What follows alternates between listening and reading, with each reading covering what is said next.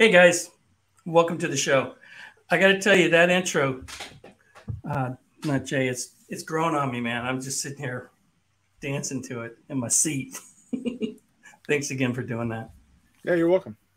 Hey, let me give you guys a quick update. You know, as of July 1st, the postcards from the front card jam is open, and we have 11 people who have signed up, and we have two games already submitted.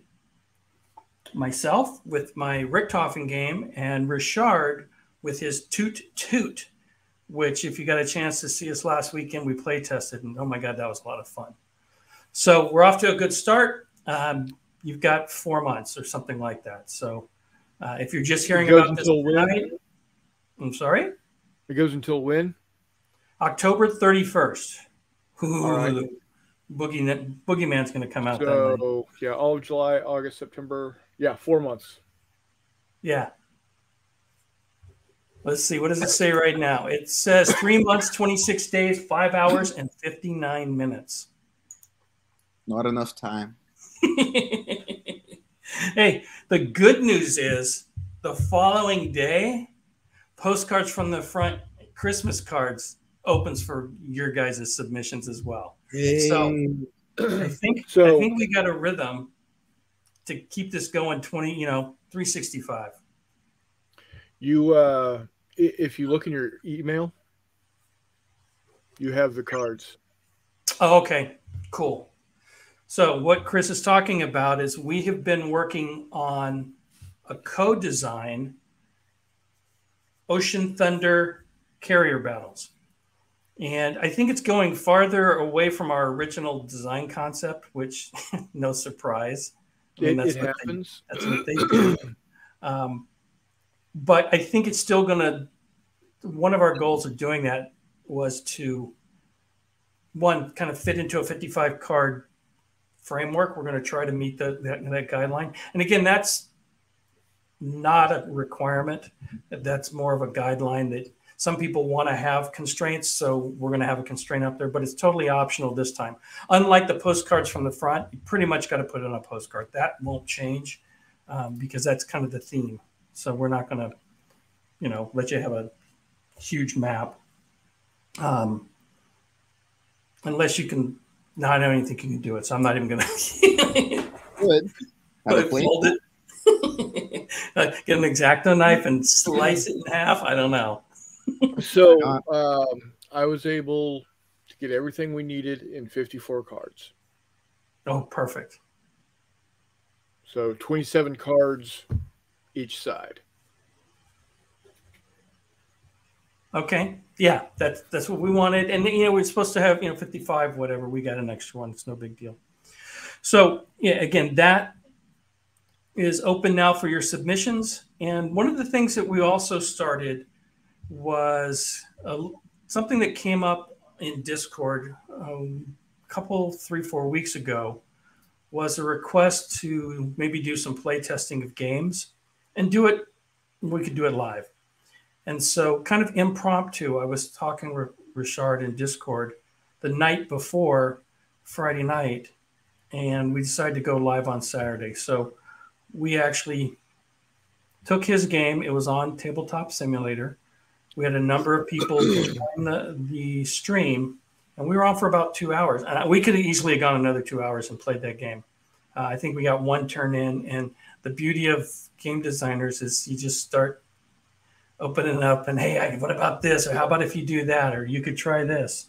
And um, yeah, I was digging it. it. It reminded me a lot of when I meet up with designers in real life.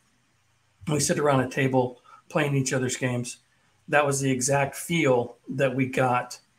And, and I'm calling it the playtesters. So it's going to be another podcast once I figure out how to put two up on my account, um, at least on Spotify. Um, but we will be doing it Saturdays. I'm going to start 10 o'clock Pacific time. I don't want to, I'm trying to avoid bumping into the War Room, which is ID Jester's show they've been doing their show for 200 years. And so I don't want to interfere with them. And so I think it's better to do it early than later. So, but if we need to move it around, just keep in mind we'll move that one around. So, we're going to be doing at least initially the games that we're putting into the card jam because that's kind of the active jam and we want to play test some of those. But if you guys have got a game that you would like to have play tested, really simple. Join the Discord. There'll be a link in the, the description here. And go to the playtesters channel and just introduce yourself and say, hey, I've got a game. I'd like to get it play tested. And trust me, we have a number of people that enjoy playing these types of games and we can get it configured or get a time frame with you. And the one thing that we would ask is that we could videotape it and put it onto the podcast. Um, excuse me. So if there are publishers out there that want us to play test, we could probably work something out as well. Now you may not want your game being published right away, but it could be something that we could videotape it, save it until you release the game, and then publish it at that that point in time because we don't want to mess with you know you, you keep things secret and, and, we want to respect that. So we'd be open to that. So again if anybody's got some some games they want play tested we're trying to build the community. You know you hear me say this a lot. And it's not just about the games we design but also if we because finding play testers is hard. We know this. Um, so what we're hoping is that we can provide a service to the community by having people that are at least passionate enough about some of these games and know how to give some decent feedback and give you some honest feedback on your games. And then if we're videotaping it, you can then take that back and watch it, you know, whenever. We can give you a copy again, even if we don't publish it till a later date. You can use that to review and, and get some feedback on, you know, at least what our thoughts are.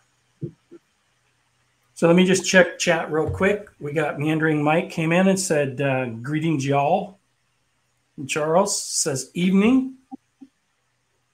And not Jay and uh, Eric just responding to them, saying hi to everybody.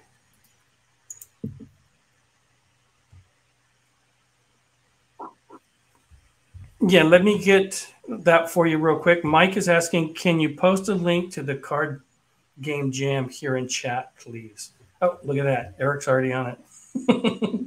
Got it, sir. Got it done. Thank you, my friend. Thank you. There you go, Mike. So, with the short week and the holidays, I did not get a chance to get a guest for us, but that's okay. We're going to just talk about a few things. Uh, later on in the show, I want to start uh, a new segment that we'll do every show. And right now, the working title is I Like It. And basically, we're going to talk about a published game at least it, maybe it doesn't need to be published. Again, this is a stream of consciousness here, but um, a mechanic or how a game plays that we really like. And we can do a little deeper dive into it and talk about it. So that maybe that inspires you to look at that particular game, to maybe do something like that. Um, oh, he says it's not visible in our live chat. Oh, interesting. Um, so we'll send it again, see if you can see it. Excuse me. Um, and so the idea behind the I like it is again to kind of highlight some mechanics, see if it's something that you know what we like about it, and maybe something you can explore to put in one of your designs, or maybe something that you as a player might want to say, "Hey, that looks kind of cool." Maybe I'll pick that game up because I, I'd like to see how that mechanic works. So with that, and I, I kind of glossed over it, I do want to say hi to Not Jay. Howdy, folks. To Eric. Hello. Welcome, guys. Appreciate you as always being here. And the topic for tonight is, as you can tell from the title, you know, calm down and wait your turn. I kind of wanted to talk about as a designer, when we get into designing kind of the core loop, the the game sequence, your turn sequence, and how we might determine how players move or take actions or what they do on their turn, how much they can do on their turn, and how much their opponent slash opponents are involved in that through interrupts or overwatch or whatever other mechanic might be used in the game to allow a player to be involved during somebody else's turn and to what capacity that might take. And there are a lot of different mechanics out there that are used for for doing games uh, game turns. And to me, this is kind of really an important aspect of your design. You hear me talk a lot about uh, game experience, the experience that I want you as a player to have. And I think that game turn or game sequence, turn sequence, is key in providing or can be key because nothing is absolute, but it can be key in that gaming experience. If you're playing a game and it's your turn and you're constantly having to remember there's 47 different things you can do and you're going to the rule book or a cheat sheet and you're looking it up and you're pondering what you want to do that takes you out of that game right? That takes you out of that suspended belief of i'm a sniper i'm a combat pilot i'm in a tank i'm i'm high i'm i'm, I'm whatever you're doing I, mean, I can go on for hours right um, and so I think that the turn sequence is critical to that. The second thing I think that comes into play is just how much one player can do, and other people are sitting around watching and waiting and have no agency. Now, there's no, in my opinion, there's no perfect system. There's no nothing that's going to simulate real time action in a board game. If that's what you want, video games do that very well. We're not going to get it in a board game. Excuse me. so, with kind of that caveat, we can talk about different systems. We can be critical of them to some degree, what your thoughts are. And just, we can start diving into a, a few of these. Um, before I do, what thoughts from from you, Jay, or or not? See, I'm getting lazy and I'm shorting not Jay to Jay, and you're not Jay. That's the whole point. exactly. And at least it's not Jay and not Chris. It's not Jay and is Chris. it, it, was just easier just call me Chris. I don't care. It's, it's I'm not hiding behind the name. I know. it's just the uh, nom de plume, so to speak. Oh no, I keep saying Chris. I meant Eric. Oh my god, because I was using his. Killing me. hey, dude, it's been a short week, but it's been a long week. yeah, ponder that one. Anyway, so what do you kind of before we get into anything specific? What are your kind of thoughts on this? I mean, I kind of laid out kind of my parameters on what I think in general. Oh, well, what's the question again? Sorry. Oh, just kind of just in general on, you know, I talked about what I thought like game turn was important and how it affects the narrative potentially, the, the, the experience and agency for players just in general how i think that that can be very important with the pacing of a game and keeping you where you're mm-hmm. not taken out of that suspension of disbelief so for me i'll just jump in and because i can talk about anything ad infinitum um, th- the more in the more engaging ways of having uh, game turns uh-huh. is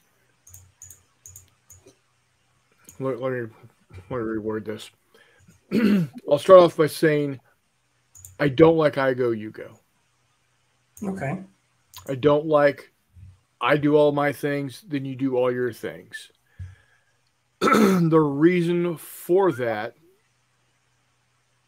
is that as a player, I'm watching you do all of this stuff and I'm sitting back mm-hmm. disengaged. Yeah. Because a perfect example is Warhammer 40,000 or um, uh, Battlefront uh, Flames of War.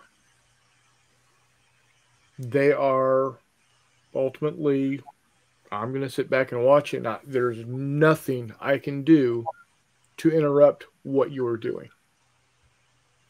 So I can just sit back and I can I can look at my phone. I can flip through the rule book. There, there's you know so many things that I can I would I could do and it doesn't matter if I'm paying attention to you or not because when it's my turn I can look at the table uh-huh. and see what has happened so the, the two games that I go to most often when talking about ways to keep uh, game gamers involved is Fistful of Lead and Force on Force or Ambush Alley. Because both of them have uh, a different way of activation. They're they're they're completely different types of activation, Mhm. but they keep all the players engaged the entire time. Because with excuse me, with Fistful of Lead, of course, you've got a hand of cards, and you have to be paying attention as to what card has been called. Because if you've got a queen and it's a queen of hearts and you really need to to heal up one of your characters and you don't throw down the queen when they call for queens and they make it down to the tens like oh wait but i got a queen sorry you're shit out of luck Yeah. um warm up. and with force on force uh in the and I know a lot of people don't like force on force because it requires you to have a scenario. You can't just you you can't do a pickup game with force on force. oh, Personally, really? that's what I love about it.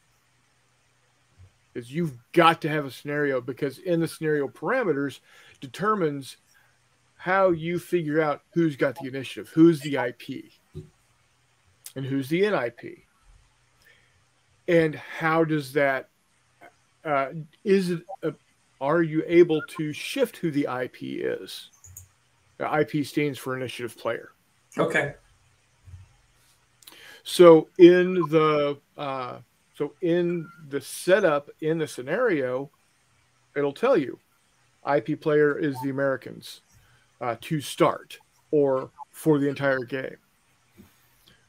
And why that's important is because as the initiative player, when you you go you get to move a team first. As the non-initiative player, you have the ability to react to that movement. Okay. Any any of your any of the NIP units that can see the IP unit moving or doing whatever it's doing. And there are some things that won't trigger, and then there are some that and you know there's others that will trigger the ability to interrupt. But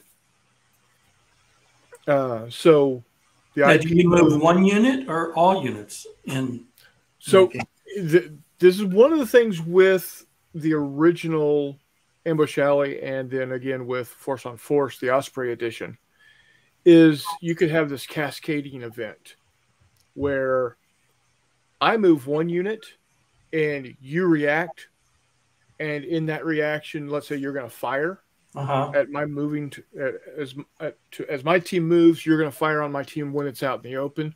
Well, then a a fire action triggers one of my team, my one of my other uh, teams that has not activated yet to interrupt yours, well, it, by shooting, but in turn that causes one of Right. yours to, and so there's this cascading event, and it, it it could get very daunting. How you fix that simply is shit ton of terrain, Mhm. so you know you don't have these unimpeded, you know, sight lines, or you just say you, you just put a limit to the number of uh, uh, of interruptions you can have. You know, Okay. you can. That's very much sounding like Magic the Gathering. I guess. interrupt your interrupt with an interrupt that interrupts that interrupt. I don't know. The, the the thing is, is And then I how- fork it.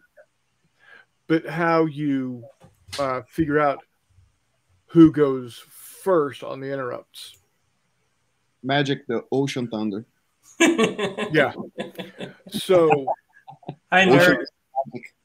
so but the thing is is once once the ip player has done all of all of his actions with all of activations with all of his teams the non-initiative player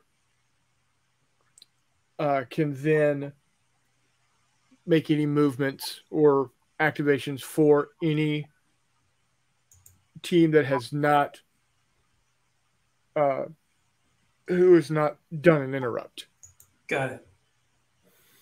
So, if you wanted to just sit back as the NIP and do nothing as my my teams activate, that's on you.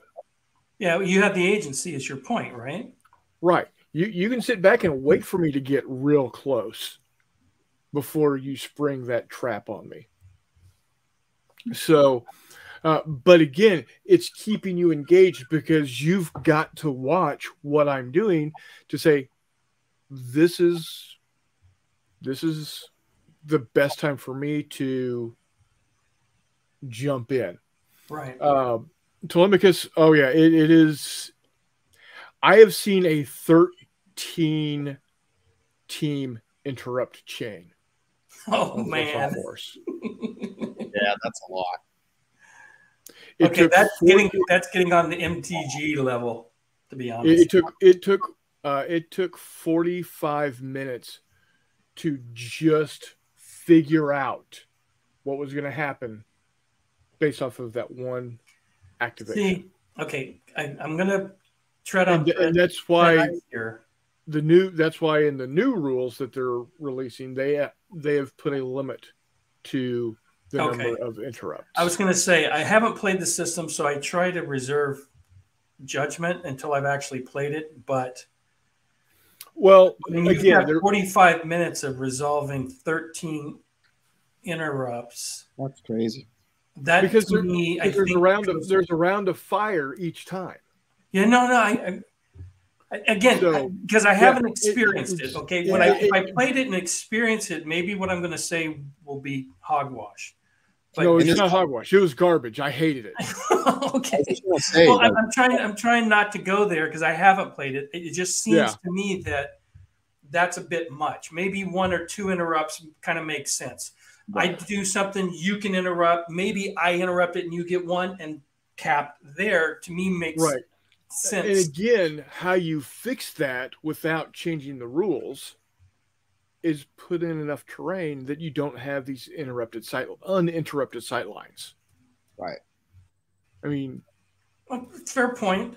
And that goes and it, okay, and you talked about it being scenario based, so it sounds like that could be done through the scenarios.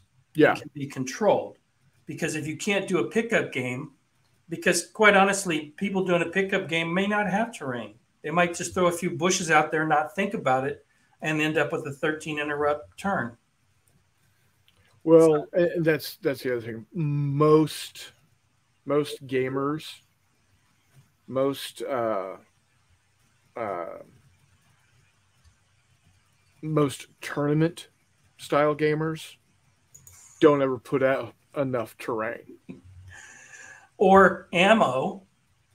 Uh, Mad Nerd Workshop says that's where mana comes in. Fair point. Right. Fair point. Well, see, the thing is, though, it's assumed that because force on force is essentially it it in 28 millimeter it is played on a three normally will be played on a three by three or three by four table in 28 millimeter in Yeah. 15 millimeter it's a two by two or a two by three table you're in the, you're in it immediately Okay, There's none that, this brings up another a note I had jotted down about turn sequence and stuff, but we'll get into that in a minute. But Oh. remind me, first turn miniature games, I see a problem in many of them. yeah, my yeah, opinion. I, I am I'm not a fan of i- unless it is a bigger you know a, a, bigger scope of a, of a game like you're looking at uh Well, let me ask you this. levels or bigger there there I I don't if I'm playing a game that is platoon size and smaller I should be in I should be shooting first round. I should be in it first go. Yeah, you're, you're stealing my thunder, but yeah. Sorry. No, no, we're on the same wavelength, guy.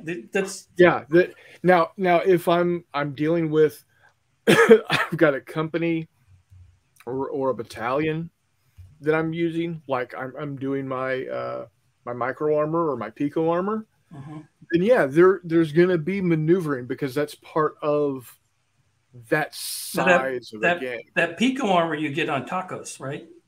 yes yeah well it makes it crunchier Got it. so let's let's back up a little bit. Um, I do have a question about force on force. You've played it. If anybody in in chat has played it, please chime in. I haven't played it yet. You haven't? Okay. Well, then just Not be yet. quiet. Just be quiet. yeah I'm kidding, Foz. So the question is, and it goes back to experience of playing the game. And I know there are many of us who love to play the mechanics of a game, and that is rolling dice, looking up a chart, uh, even if it takes us out of World War II squad level combat. It's the gaming experience that we like. So even if you have a 45 minute, one turn, 13 interrupt back and forth, if you love that type of crunch and rolling that and doing that, that 45 minutes is probably very well spent and not a bad maybe. Well, and, and maybe it's personal taste here. Yeah. no uh, no I, I agree.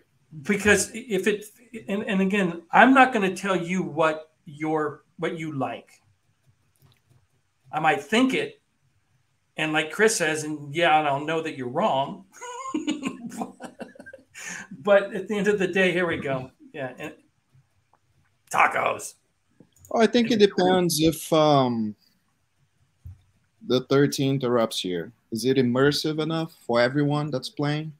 Like, is it something that everyone's enjoying at the same time, or is that a person or two sitting there like, this sucks? I'm not doing anything. So in It's- that in that situation, there, there was there was four players on the table, Mhm. two two to a side, Yep. and all all of them had every player had at least two people doing an interrupt. Now, when it was all said and done, it was like that was ridiculous.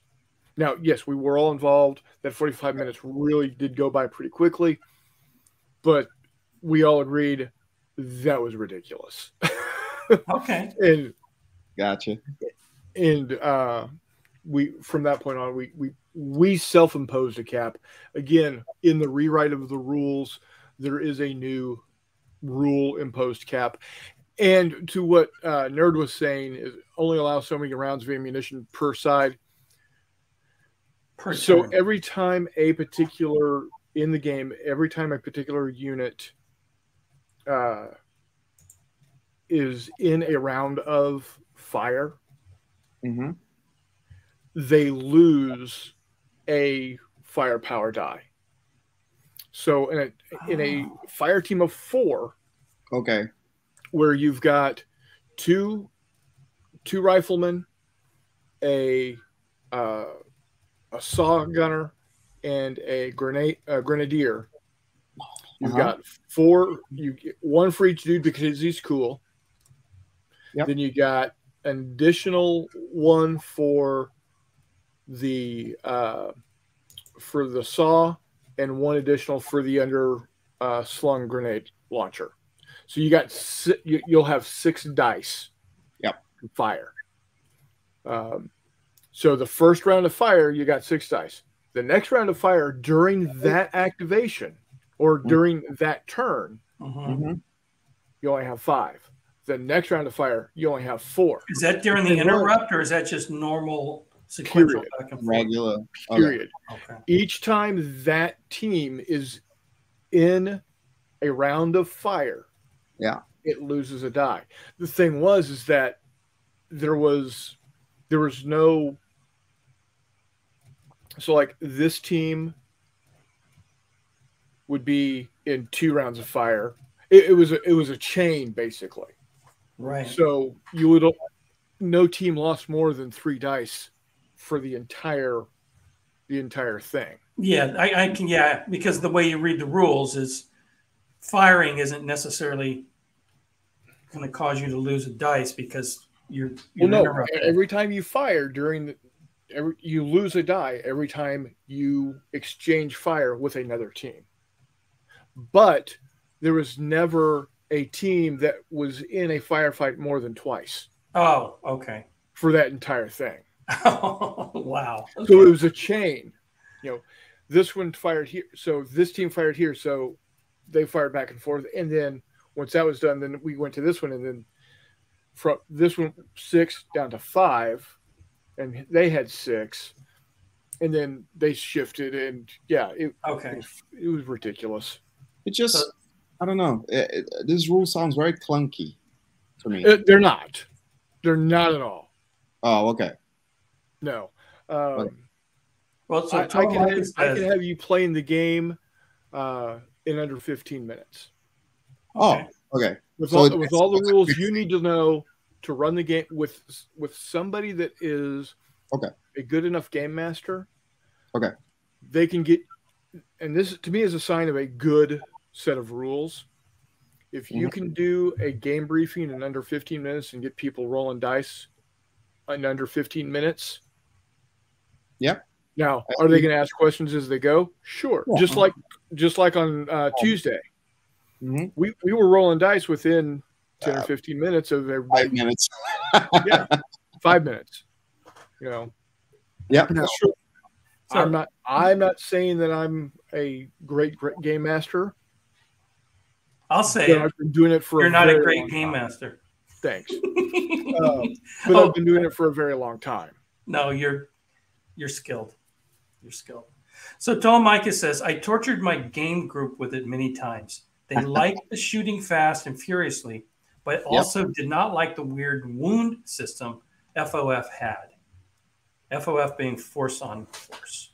Yeah. So- yeah, right. Is this game by the same people that, that uh, do Water Tanker? No, no. f- Uh, Oh, Force okay. on Forces by uh, Sean and Robbie Carpenter of Ambush Alley Games out Oh, of uh, Enid, And published by Osprey, right? Osprey? Oh, cool. Osprey. Um, Osprey. uh, they uh, they came to uh, th- they were self-published first. Okay. Osprey came and said, "Hey, we we would like to get into the gaming scene. We wouldn't have any of the Blue Book, Osprey Blue Book games or Gaslands or any of that without Ambush Alley and Force on Force." Okay. All right. Um, Napalm. so so they you know produced the the hardback game plus uh, eight companion books and a hardback of the uh, hold on, hold on. Isn't there something in that book you'd like to show us? One more the, time. um, you, you mean my name right there There we go. Attaboy. I love it. Hey, um, people might not yeah, know. so so the, so the the scenario the why did my Yeah. All right. So, you know, talking about the scenarios, you've got um, how they have it laid out is, in a specific way. It Mhm. tells you uh, how long the game will run for. Um, eh, so, in my scenario, I had eight turns. Uh, initiative, it tells you who has initiative and how it can change. It says that the Allies have initiative throughout the game. The Germans are controlled by random events because it's a solo Okay. it's a solo game Yeah. or it's a solo scenario. So the Germans are following a, an AI basically. Right. Uh, then you know if you've got fog of war, And why is it that most have- solo AIs play exponentially faster than human players? uh, analysis paralysis? Think long, think wrong. Yep. I Just- tell just that. Think on that one. Just think Yeah, on I- that one. I have to tell that to my buddy Chris Copeland all the damn time. And the other thing we have to tell him all the time is stop leaning on the table. That's not Well, in the game sequence. So let me let me pull us back a little bit on on topic here. Um, we had to get your plug in though, so I don't. Oh, of course. uh, It's not that there's so Mad Nerd Workshop says they are smarter. Um, that might be true. I've I've been impressed. By Again, some of the depends AIs. on the human player. and and that there's two factors involved but the the the joke was that i was trying to make is exactly what uh, chris said is there's other once you understand how the bot works it makes a decision and it moves on and a well designed bot is going to play halfway decently and the point i'm making is sometimes as players we think way too much and we really don't need to um, Also, with that, mhm. they're giving way too many options sometimes to choose from. Agreed. Way too many options. So let me ask. Um, so Talamika says, mm, "Fog of War?" Question mark. Talking about the AI. Yeah, there is some fog of war there. Now, if you've played a game a few times and you've seen all the options, then you start guessing on what it might be doing and, and, and adjusting for it, which is fine. Um, you know, if you enjoy the game that much that you played it to that point, good on you. And then uh, Nerd says uh, they kick my ass all the time. You're not alone, mad mad nerd. Not alone. Yeah.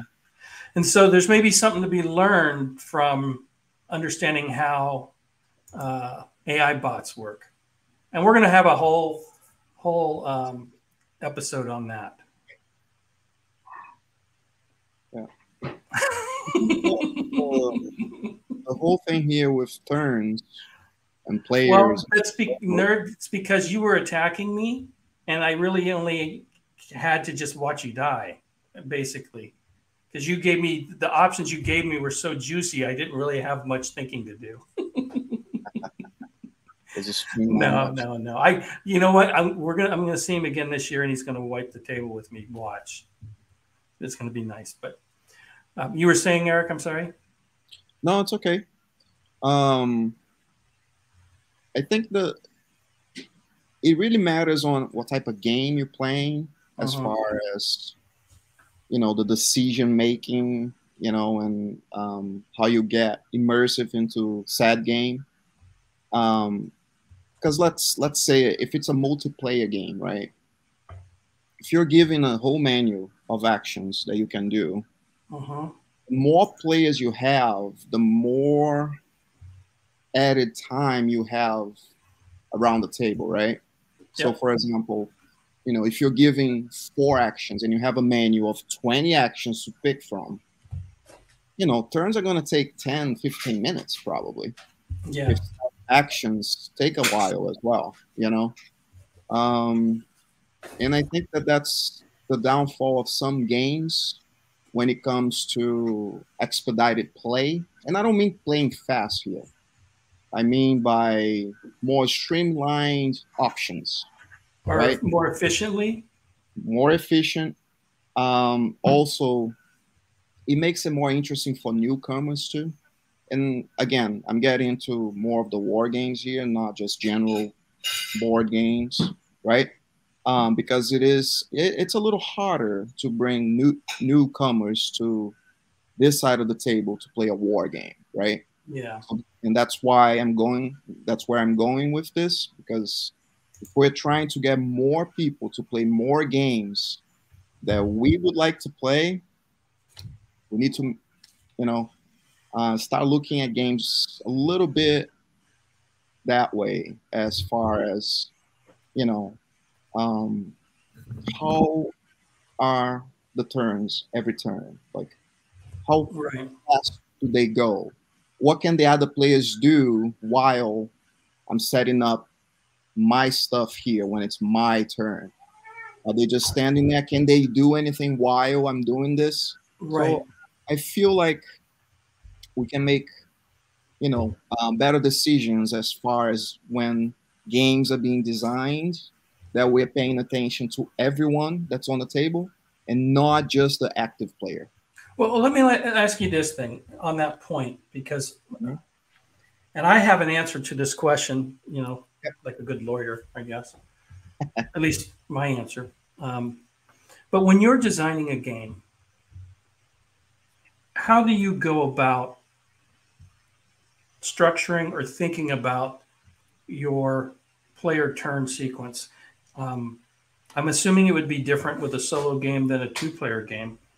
But let's It- just say, let's take a two player game or a multiplayer game. Doesn't have to be two, it can be multiplayer. Yeah. The, the- How does so- the how does the turn structure for you play into it? Does theme affect it? Um, I'm not. I won't give you softballs. Why don't you explain to me Yeah. how you kind of tackle that? Well, from my brief experience, right, trying to design games, I, I mean, I've played more than obviously designed, but um, I think it depends. You know, if if it's again, if it's a game where like we played Wizard's Quest this past weekend, right? We played four people, two people really non-war gamers, right? Uh, which is fine, which is fine because I feel like Wizard's Quest. I, I don't know if you've played it before, Mike. No. Um, highly recommended. And it's funny because on Wiz- Wizard's Quest, you get one action for your turn. okay. The setting up of the beginning of the round is procedural because you have to place orcs on the board, you have to uh, place the dragon, the the wizard. You know, you have a few procedural things that you do, and then it's the player's turn, and it just goes around the table. But it's so it's so quick Mm-hmm. player's turn itself that um you know it just it just makes the game go by like that you know because everyone's already like oh okay so what do i do i just you know i do you know I, I, I try to capture a territory which Okay. capturing is attacking um and um it's it's very quick you know um yep orc frenzy I'm sorry. it's a hilarious game um but again nerd just makes me laugh.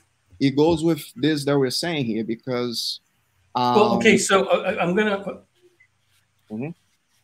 My question was, how do you factor that into your design? yeah so i mean i haven't really designed multiplayer games um, Okay. it's harder to balance with multiplayers than solo you know because the bot does help a lot in solo um, I think so the- too.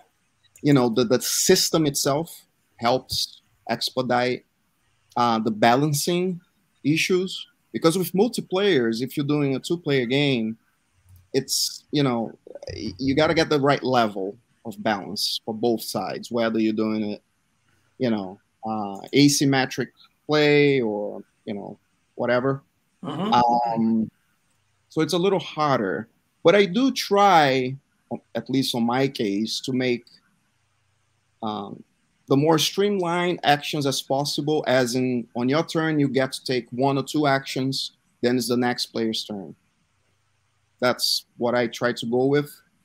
Um, and going with what Jay was, not Jay was just saying.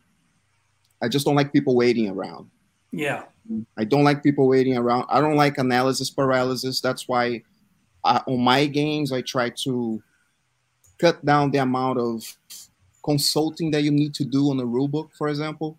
Like yeah. I want my I want my actions to be as clear as possible. So if you march, right, you're gonna spend an action token or an activation token.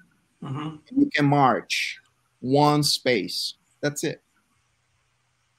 If you're gonna attack, you're gonna use an activation token to attack the space adjacent to you.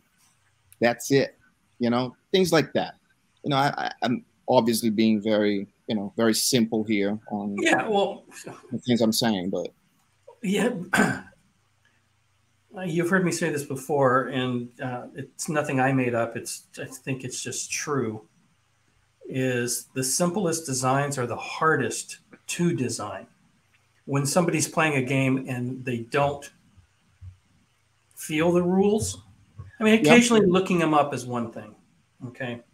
Yeah. But if you can get through that fairly quickly, where you're playing the game, then you as a designer can control that experience more. And I think the more you put into a game when it comes to turn sequence, the more rules you're going to have, the more opportunity you're going to have for somebody to break out of that third wall and have to go get the rule book to what do I do in this situation? Or, oh, I forgot I was supposed to check my morale before I did this. And when you have a much more streamlined um, turn sequence, I think it makes it easier to learn to play a game yeah. and play, and then for players to play it as I was going to say correctly, but I'm going to change that to say play it as it was designed to be played efficiently. There you go. Yeah, which may or may not be correctly. it could be a bad design. Yeah, absolutely.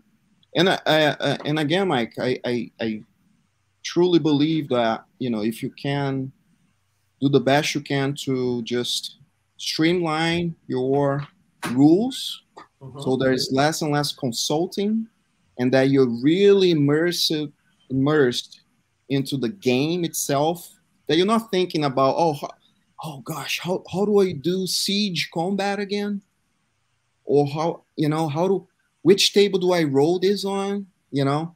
Because I, I really think that takes away you know you're not oh, strategizing anymore when you're doing well that was one of the parameters I, I talked about with your turn sequences it can take you out of the gaming yeah. experience and again unless you're there are people uh, and you hear this a lot in the board gaming community, a hobby board gaming, where they'll, they'll say a game is crunchy.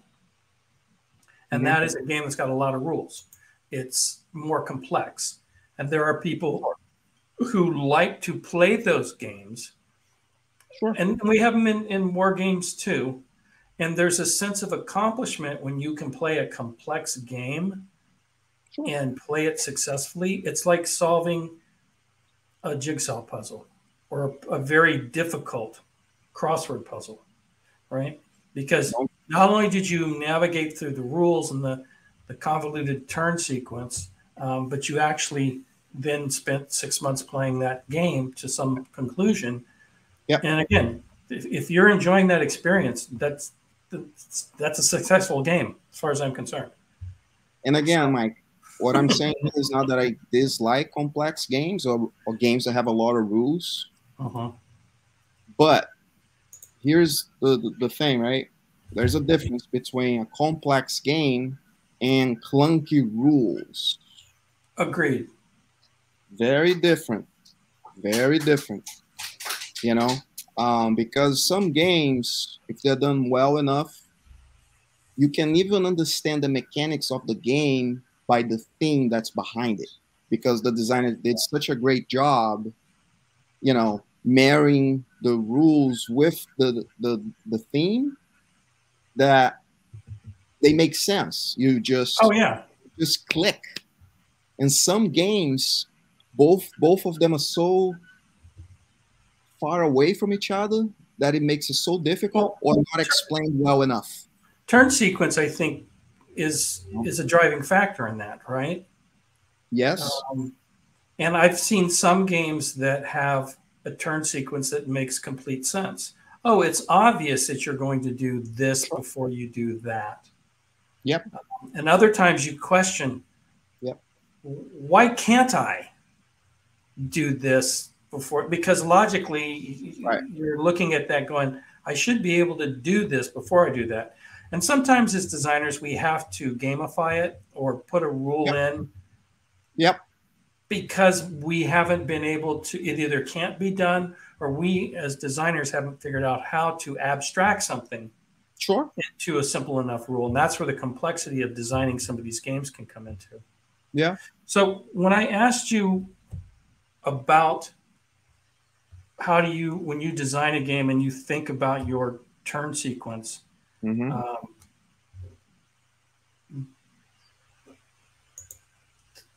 hold on one second. So, hi, Stupid Joe. Thanks for joining us, boss. says interesting topic. Hi, guys. If a game is complex, it better be worth it. Yep, exactly. Agreed. Well, I, I don't know where you came in on the conversation, boss, but we were saying that there are people who enjoy playing a game, the actual mechanics, the rolling the dice, the looking up the table, the doing the math.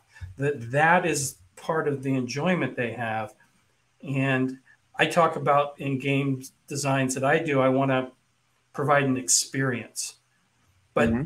my definition of experience isn't the same as somebody who likes a very complex look at the charts, do my math, min max, and then roll the dice and, and see what RNG does for me, right? Because part of that challenge is when you're min maxing, is how can I um, solve this problem in an efficient way to increase my chances of mitigating that risk? And a lot of so, times that's where some complex rules allow you to do certain things to to get to that end result of rolling that dice and having it abstract out. Hey man, I like Chrome in my games. Just not too much that I can't. Yeah, we talked about Chrome. we talked it's about not too much that I can't remember them. So, so the answer I was looking for that you didn't give me, and not that yes, sir. not that you're wrong, um, but one of the things that I try to do now, this is more so when I was when I was, I still do. If I design a, a hobby board game, is I I go, I have a, an idea for a game, and I keep coming back to Mythic. But in that particular game, one of the things I did when I started to construct my turn sequence was I said, okay, if I've got three to five players and I want this game to last an hour, mm-hmm. and I was giving myself some parameters. Yep because if you go to a game night, you might want to get more games in and you might be there for three to four hours. So I didn't want a two hour game. I wanted a game that was about an hour. And mm-hmm. it gets into my philosophy on game balance. I think a game is it's less important to balance a game the shorter the game is. If it's completely imbalanced, um, flipping a coin, there's no balance to that. Well, it's 50 50, or is it? Mm-hmm. Um, but if you lose, you flip again. You can go right away, right? Um, and so I take the number of players divided by the time that I want the game to be, and that'll give me a ballpark idea of how long a, an ideal turn should last. And you'd be surprised, sometimes it comes down to four or five minutes. Mm-hmm. Well, four or five minutes, then I break that down into okay, what am I asking a player to do, the decisions to be made, and, and the actions that they have to do. Can right. that reasonably be done within that time frame? If not, now I'll over design. I always mm-hmm. try to over design on purpose, knowing I'm going to cut back. Right. Yeah. So if I come up with 10 things in a game, I'm going to cut three of them right off the top of my head. I'm just saying I'm going to cut three out. And so I got my seven best. And even then, it might go down to four things that stay in the game. And we've experienced that in the postcard challenge, right? Because you don't have a lot of room to put a lot of turn sequence and write the rules on what you're going to do in that turn sequence. So that format, mm-hmm. in a lot of ways, forces. And, and you see some of these games are fairly deep when it comes to gameplay, mm-hmm. but they fit on a five by seven rules, tokens, whatever. So your rules don't even fit on five by seven. You got a little bit less of space. And, and so the point I'm getting at is that's how I structure the beginning of my turn sequence in games where I have a time limit. Now, not all my games I design around a time limit, but when I do, I now if it's a four or five player game and you want to fit into two hours, that what a player can do, that time shrinks. And so you have to be very cognizant of what that turn sequence looks like and how quickly they can get through it. And so, to your point, yes, you give them options, but those options, and one of the ways that I did it with um, Mythic is you have minions, and those minions each have an ability. Okay. And the turn sequence is based on each location has a, a first slot, second, third, and fourth slot, and there's a there's a worker placement aspect of the game where everybody goes around and strategically places their their workers where they want face down. Mm-hmm. That defines that whole turns turn sequence by location. So yep. I might have two turns back to back. I might have none because I didn't put anybody consciously in that location. Mm-hmm. And then as you go through that one person taking their turn, they have very specific abilities for that minion. Yep. And the option to do a very they can do a lot of things during the game, but during that slice of time, I pared down those choices. They don't have a lot of choice. Right. On the grand scheme, when they do their play their their worker placement, all the things that you can do, you have a lot of choices. But when you get down to your actual turn with that particular card in that location, it plays fairly quickly because yeah you're either going to pull a card for evidence or you're going to play its ability. You don't have you a lot of choices. Yeah, so I've married a lot of game. choices with focusing on when you can make those choices down to getting it to fit within that under an hour. It, it all depends on the kind of game you're making here, you know, because the turn sequence can change. You know, I, uh, what are we playing here? Are we playing a war game? Are we playing a social deduction game? You know, mm-hmm. are we playing poker? Look at poker. Poker's super fast. It can be. It's, it's super fast. You either pass, you bet, or you fold. Or you raise. Or you raise, you know. But it's fast. When when when when your turn comes, you know, you're ready. You, you, you don't have a manual of 20 different things you can do. You know, even if you raise and re-raise and then whatever, you know, well, um, they also have the dealer. I don't know if you know how poker works, at least in most poker rooms, but the the house wants a lot of hands played because they get a rake on the amount of money played. So they don't want people sitting around thinking. Now, if we had somebody that was running a game at a convention and they got paid on how quickly turns were made, maybe we designed games that were turn sequences were, were a little. Meandering Mike is saying something that's important.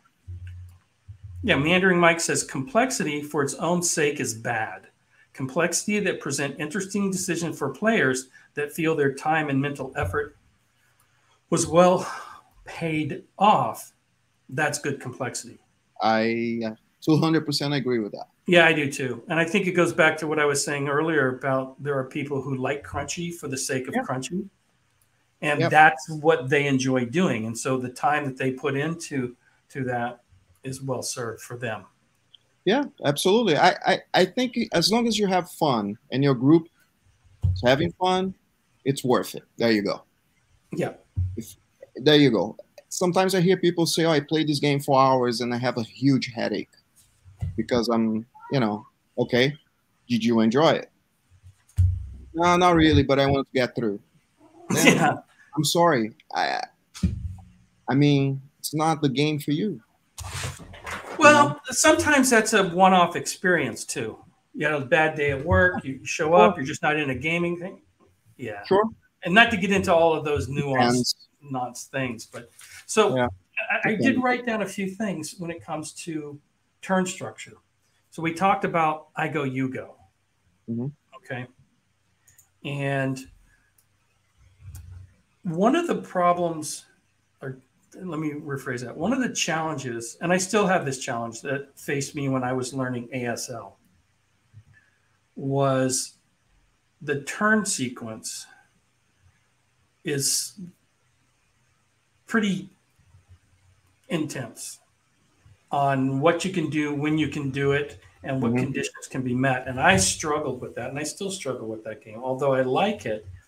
And um, and I'm not getting into the way people game it and you know tournament play because I don't play tournaments. So um, I I sit down. I like to immerse myself in the narrative as, as much as I can, even in something that is, um, you know, very tactical like ASL is.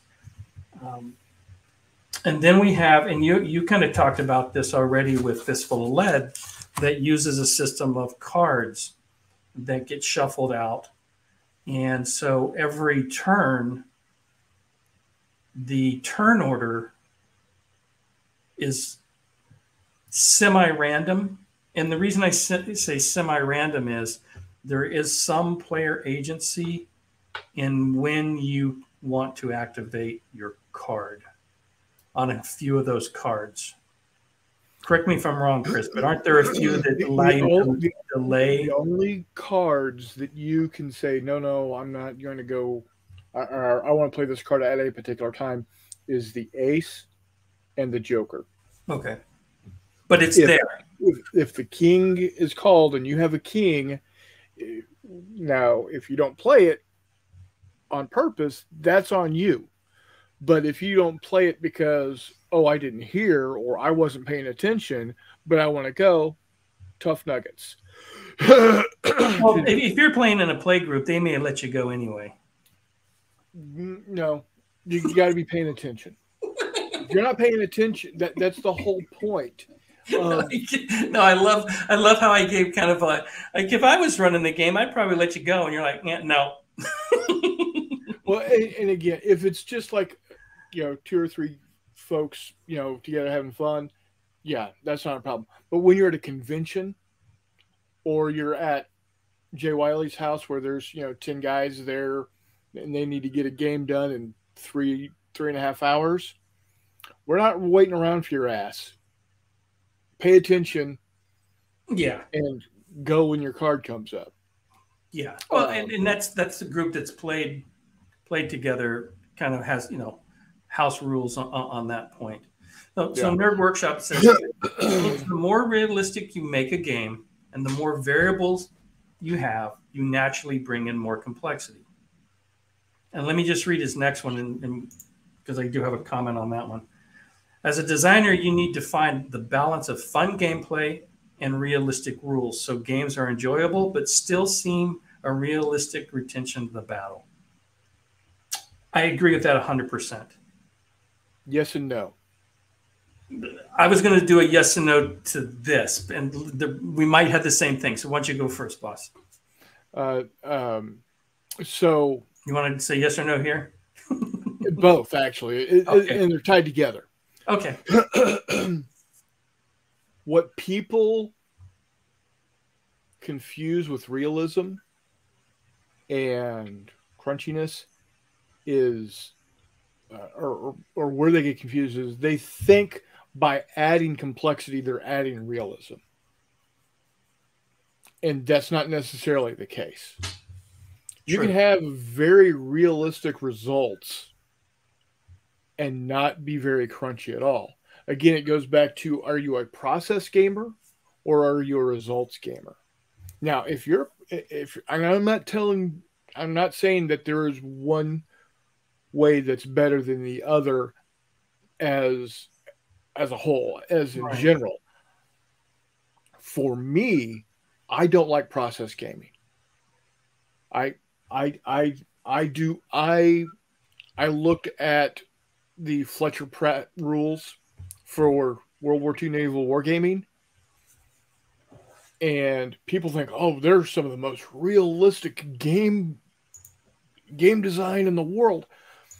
Well, it's realistic in the fact that you are apparently taking the role of the captain and the five inch uh, gun director in the gun mount because you were figuring out what the angle of the gun has to be to fire at a particular range, be able to get the penetration of your five inch round into the armor of that particular heavy cr- garbage. Now, if that's if you want to play that way, by all means, play that way. Yes, please have fun doing that. Don't expect me to have fun when you put a book of charts in front of me that might as well have been produced by the United States Navy circa 1941 for five inch gun turrets. Not going to happen. I th- and I have been told that Ocean Thunder provides realistic, historically viable outcomes. See, I think that's the key. Historically viable. Right. You, you you you don't have you know I don't have to know for like on force on force. They make no difference between an M16, a uh, AK-47, and uh, FN FAL. Mm-hmm. They're all semi-automatic or automatic assault rifles. They're worth the same value. The difference is the amount of training the particular individual uses, thus the type of die that they're using to be able to roll the four for this success. Yeah. If you're if you're a green troop or you you are a uh, you know if you're fresh you're a conscript fresh out of basic training or you're uh, or or you're a uh, uh, an insurgent that they just threw uh, a rifle at and said, "Go get them," you're rolling a d6. So to get a success of a four, you've got a 50-50 shot. Oh, I really yeah. like when we were talking with Walkabout Games when he was talking about his combat mechanics in his game. And we'll, we'll game on one night yeah. to talk about that. But that's, I think, handles realism with simple game. Yeah, exactly. Yeah, you can. I think he's nailed it. You you can, ha- I, and I I want to get a hold of his rules because I, I want to play them. Oh, I've I got, know. I've got I've got 15 millimeter U.S. infantry and Hajis all day long. I got about 50 uh, uh, Arab gunmen uh, ready to go um, that I play with force on force. I'd love to get you know get his rules and play you know give him a give him a shot. Um, but and by the way, you know, Nerd said he agreed with what you were saying, Chris. Yeah, yeah, no, I, I wasn't I wasn't in any way, shape, or form thinking that you know he was saying otherwise. It's it yeah. Th- there there's a to me a good game will give you that historically viable outcome without diving into the weeds. Yeah, Again, I'm going to go back to his original statement. Yeah, because it seems more realistic. You make a game, the more variables you have, you naturally bring in more complexity. And yeah, so, where I, I agree, uh, and, and is this the second condition, the more variable you have, I right. think the variable part brings in the complexity. The realistic again it, and we're talking in the context of a game okay? That to your point chris when you talk about realistic outcome that to me is what like with and i'll talk about richthofen an air combat doesn't take you an hour to hour and a half you're not moving miniatures and you don't have a turn sequence per se, and you're not having to move up and down and elevation and and it, you don't have to look at a bunch of rules. The game plays very quickly because the design was focused on whether or not you as a pilot had an advantage against your opponent or, or were at a disadvantage. And from that perspective, I don't want to say realistic because I've never been in air combat, okay? but what it does do is it gives you a Hollywood feel of I'm trying to evade getting shot so I can get on their tail. They're trying to keep up with me so they can bring their guns to bear on me. And that game does that very well. And you get that sense. And simple playing game, but trust me, it took quite a bit of thought and play test and back and forth before it played smooth. And so when you look at the rules, which I, for the 1v1, I put up on uh, Tabletop Simulator, and I'll put a link to that game and some of our other games um, in the description of, of this video. Um, but if you read the rules, it's all of three pages, I think. It's not overly complicated. And one of the tricks for me is the ability to put the rules on the card. And I know we talked about cards a week or so ago, but one of the, I think one of the advantages is you can have unique rules that when they come into effect, the player has them right in front of them. Yeah. They're not digging through a rule book because they've got the card that says, oh, I can do this, blah, blah, blah. And most card games, if not all, the card trumps the rule book. So if the card says you can do something, you can do it. Yep. And that's a that's a designer's sneaky way of taking that rule book and breaking it into a bunch of small pieces and feeding it to you just when you need it.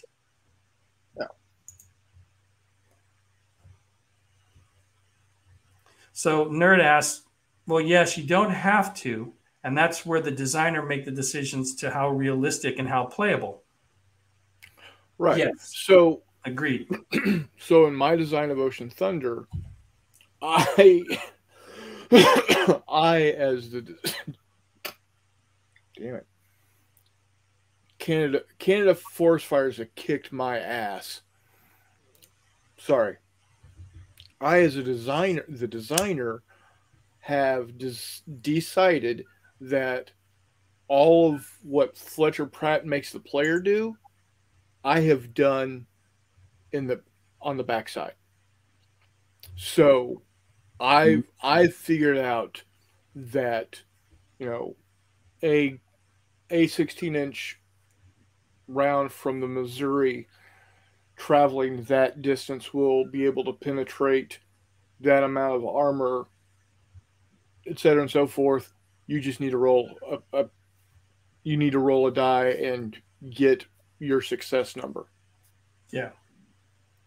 You know that I, I have I've got all the numbers to back it up because to me that is what's more to me, seeing the outcome is more enjoyable than breaking out the freaking slide rules. Right. Um, again, if that's what you want to do, then by all means, you do that. Um, but so in Ocean Thunder, when you when you were building, try to steer this a little back to turn sequence. How did that? How did you tackle that? When you said, "Okay, I'm going to do a miniature game," and you've got and it's or any type of game, and all of us designers start with that blank page, right? We got an idea. How do we get it from here onto that page to make it work? And at some point, that turn sequence pops up, and we have to solve that problem, or at least come up with so, something to start with. So in Ocean, I I have always felt that because of the distances we're dealing with, because of the amount of time it takes for shells that are fired to reach their target. In some cases, a minute or more. It doesn't make sense to have, well, I'm shooting before you shoot, so if I hit you, you don't you know, you're you're out of luck. Mhm. So everything is simultaneous within the turn or within this that segment of turn. So as a player, I might do X number of things, but the effect does not go into play until after you, as a player, do your things. Right. So for instance, we resolve it so, and say, so for instance, in in movement, okay, unless unless we're in close order and might hit each other, it doesn't matter whether you move first or I move first. So movement is simultaneous. You just okay, the turn starts, we're in the first move segment, move, move your ships. I Yeah. don't care if you're moving first or I'm moving first, move your ships. Mm-hmm. Now, if it gets to where we're close enough that I might hit you or you might hit me, then it's up to the players to decide how are they going to figure out who goes first. If you want to roll roll an initiative die and high diet, by all means do that. okay, That's up to you. Same thing with gunnery. It doesn't matter whether I shoot first or you shoot first, because we're both going to get to shoot during that gunnery segment. So it's very thematic. Yep, exactly, exactly. Because although we don't have an actual a turn is X number of minutes written into the game, Yep. when when my when my buddy Chris Copeland sat down and wrote out the the the, The sick the chart. equation Mhm. that figured out because that's the first thing we did when we decided to pitch all of the rules that we had been using previously, which were heavily modified uh, General Quarters One, and and start from scratch. We decided, okay, the first thing we need to know know is how far are these are these miniatures going to move on the table for for e- each turn. Yep. And so we were playing in 12400th scale. We decided, okay, we're going to use arbitrarily we're going to make it five minute turns and he started calculating blah blah blah et cetera and so forth came out with a damn equation that was literally nine inches long right because he is mr math and knows how to do this bullshit i just said break it down to me he says are you ready i said yeah you take the speed you want to go in knots divide that by two and that's how many inches you move during the turn. okay. So that's where the knots come from in knots J. Exactly, exactly. Um, so, ostensibly, our turns are five minutes long. Well, if the turn is five minutes long, how many five-inch shells are fired from a dual purpose? So five minutes game time, not five minutes real life playing time. So a game turn is five minutes of real life. Got it. Okay. Per player. Huh? No, the the turn because again, everything's simultaneous. Everything's moving. Oh, that's true. Yeah. Yeah. yeah, yeah. Yeah, that makes sense. So- sense. That's fast. So, you know, how how many times in f- five minutes can a single five inch thirty eight dual purpose uh, gun fire?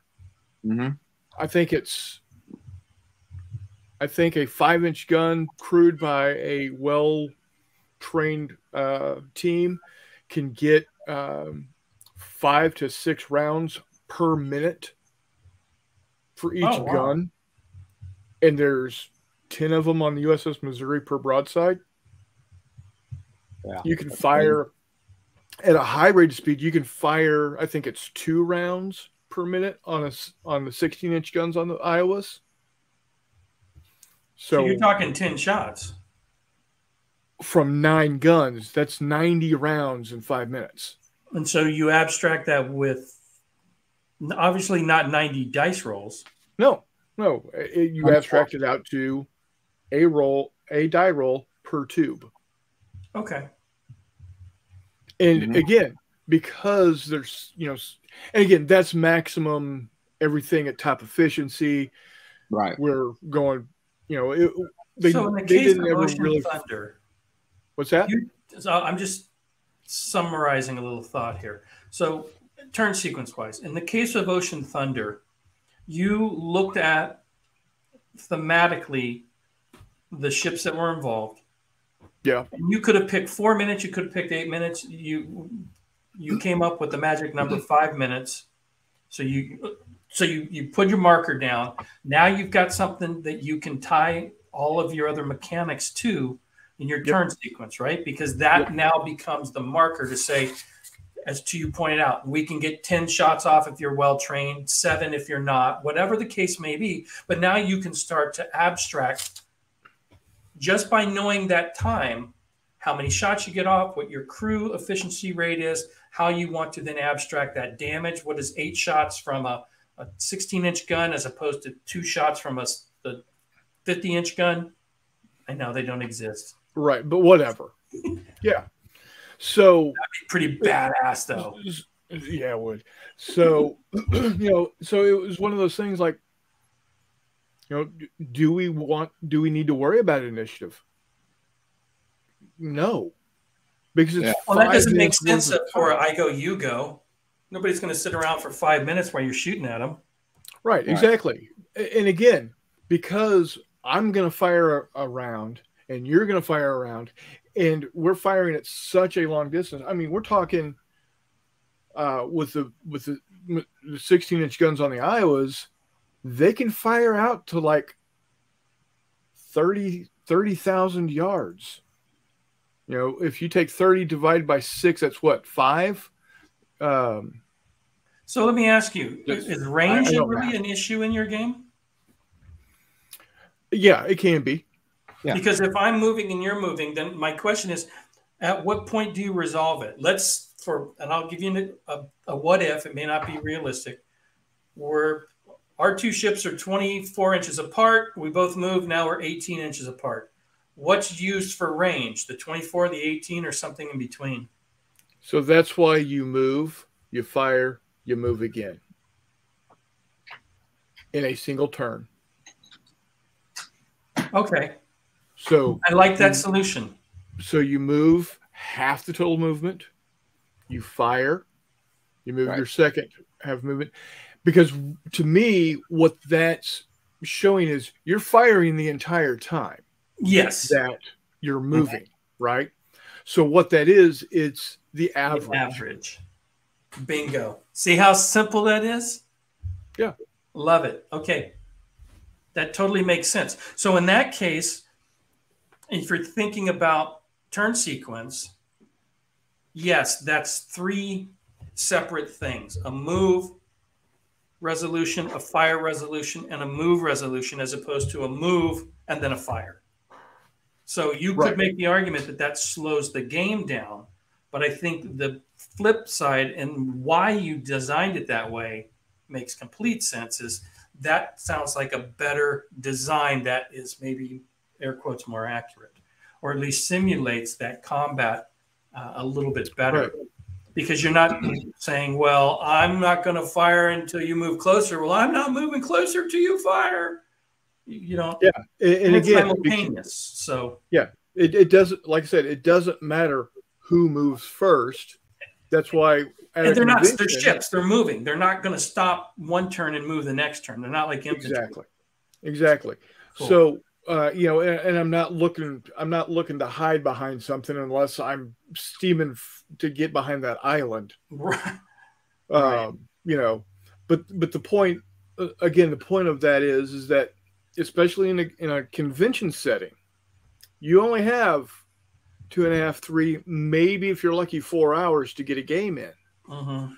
when you're dealing with six to eight players, with each player having as many as four to six ships, you gotta have you gotta get shit going. You gotta Well, again, it's kind of like what I said with Mythic. You do the math and you say, I've got two minutes a turn. So whatever I'm doing, whatever those mechanics So- are in that turn sequence, somebody has So- to realistically be able to do that within that time frame. Yeah. so that's why, you know, when I'm running the game and we're at the first turn of first move segment, I've done my 15 minutes of this is how the game is played. Let's go. Uh, turn one, everybody moves. And, and I, I literally say that everybody moves. And people are like, what? But who move it? That- ju- move your ships. I like it You know, okay. because I'm moving, you're moving. At the same time, that's the most Right. efficient play. and we're we're you know we are literally on the other the other side of the table. I mean, I, I normally run uh, on a four by eight or a five by eight table, and we're literally at least three feet apart at the beginning, if not more. So your movement is not affecting my movement at all. So that was a point I was going to bring up earlier. Um, and this really isn't about turn sequence, so I'm not going to elaborate. And I think you kind of said it is um, in miniature games. I'm not a fan of everybody sets up in the first turn to three turns is moving to get into position Ugh. because I find very rarely is there any strategic advantage that's gained for the amount of time that's taken to play those turns that you could not get by just handling it during your initial setup. Yeah, exactly, and that that's what I like about that, that's what I like about. Go ahead, uh, you can. Chain of You Command. guys can respond. That- that's what I like about Chain of Command. Um, have you ever played Chain of Command? So the first part of the game, each player. Well, uh, actually, I did when I was married, but I never had the initiative. Nice. So each player, or each side, I should say, each side has uh, four to five Sorry. uh, what they call blinds, right?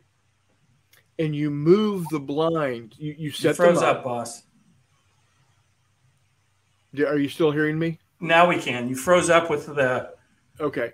So you got the little blinds that are, you know, about the size of a po- poker chip or a little bigger, Okay. and you move you move them as if they're your one of your units. And you move them until you get within 12 inches of your enemy, which then locks them down. Once all four or five of these little blinds are set, you then uh, pick one and you get the two closest enemy blinds and they make a, a vector where you're at the apex and then Uh-huh. behind you you set up your jump off point the jump off point there has to be at least six inches away from your blind Mhm. within that cone of variance either in or behind a terrain feature Okay. that is where you're and you do that for all you do that with uh three so you get three jump off points Okay. each side gets three jump off that points kind of illustrates my point. and that's where your units come out of Yeah. So that I, that I'm totally cool with. Yeah Eric, you had because you then- wanted to add to this? what's that Sorry. I was no, I was going to give Eric a chance. I'm sorry, I didn't know you were weren't done. Keep Yeah, going, Bob. so when when you bring your troops on to the table, when you actually bring them onto the table within six inches of the the, the jump off point, you're close enough to start shooting immediately. Yeah. So it's a game within a game to set up, and that's another nice thing about it is it's not just a strict line across the table. Yeah. The the the front has now shifted on the table itself to you know be variable, and then once it's locked down, it's it could you could have a bulge, you could have a it could be convex, it could be shifted like that. It's really a, a, a really cool way of doing it. Yeah. Eric, you wanted to add to that point? Uh, knife fight in a phone booth. Those are the kind of games I like. Oh yeah, absolutely. And, and then that, that's the other thing with like four. I mean, if it's a competitive game like that, you know, and I'm usually not super super competitive guy, as Chris probably understands by now from our game on Tuesday. I destroy someone's, you know, Panzer, and then I apologize. Hey, oh, sorry, I destroyed you. But anyways, um, no, but but those games are fun though, because it's like you know, it, if you move each piece so slowly, you know it takes an hour just to get to range to shoot or to you know melee whatever. It's it's i mean it's boring you know? I, i'd rather be a little closer from the get-go not that close so that well, you have a room to still maneuver around yeah. be tactical about it right but um i do like close quarters a little more when it comes yeah, to and you, you bring up the same point that I was making is that um, you, you want to have a little bit of tactical play, but I feel most of the time there's really no tactical advantage that you gain that you can't get through what Chris described with the setup, right? So just make the setup a little more engaging. Yeah. Get set up and then start rolling dice. Now, Mike brings up a really good point, though. Mandarin Mike says double blind games, early maneuver to engagement can be some of the most exciting part. Hundred percent agree. But that's but what, what you have there is the fact that because it's double blind and I don't know where you are, right? The game starts. The maneuvering is part of the game that has an effect more yes. so than I can see your minis, I can see my minis, and for the most part, we're just all going to move six inches forward, six inches forward, six inches right. forward, or whatever the case may be. And that's how Chain of Command does the double blind without being double blind. Mm. Is because I, you don't know, you don't know where my my sniper is coming out. You don't know where my M4 Sherman's coming out. You don't know where my machine gun team is coming out. Yep. You just know that there's a jump off point over here and any damn thing can come out of it except for vehicles. But you know, any infantry can come out, you know, a mortar team can come out of there, a machine gun team can come out of there. Hey, in uh, my defense, nerd, you killed yourself. I, I didn't have to. That's all I'm going to say. uh, see, you, yeah. see you later, uh, Mr. Ormut. Take care, buddy. Yeah, thanks, boss. See you, Ormut. Okay, so we're going to take you to dinner. Go, beat it. Tacos. Tacos.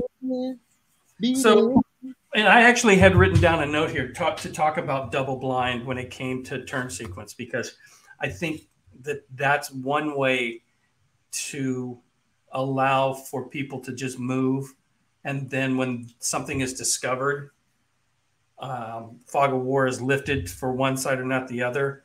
That a referee could step in and say, "Hey, you you see these, they don't see," or whatever the case may be and it's been a long time since I played a good double blind game. Um, okay. And that may be something that that could be a fun. That's jam, what I really like about double blind uh, jam. That's for another day. Oh my god, my brain's going. My brain is going. That's what I really like about. Uh, um, damn it, Kriegsspiel. Yeah, we talked about that. I got to follow up on it. I got to play. I still haven't played it. Yeah, I have yet to play that either. So what else do I have? Uh, so we talk about um, turn turn sequence, uh, yes. initiative. You know, I go, you go, alternating activation like with chit pulls or with cards. Um, and I think I've mentioned this before that for me, the difference between a chit pull and a card, I think it's really designer preference. If yeah, there's no difference. hex and counter game, chit pull just seems natural. Probably for the publisher as well. They just if they've got the space on a on the, the cardboard, they're going to throw in some chits. You don't need yeah. to print cards. If you got a card game, print a few cards. You don't need the chits. They, they yeah. Unless you can tell me otherwise, I don't Lock see it function any different from each other. They, they nope. don't function any differently um, is just with Lock and Load with the World at War 85 series. Uh-huh. The original World at War was a chit pull, but the, the they were pretty much standalone games. So when they printed out the uh, 49th Armored Division, they could have a chit that said 49th Armored Division, and all of the tokens of the 49th Armored Division would ha- say 49th Armored Division. Uh-huh. Well, with World War 85, they readjusted the thought process to be okay, we're going to have a series of games.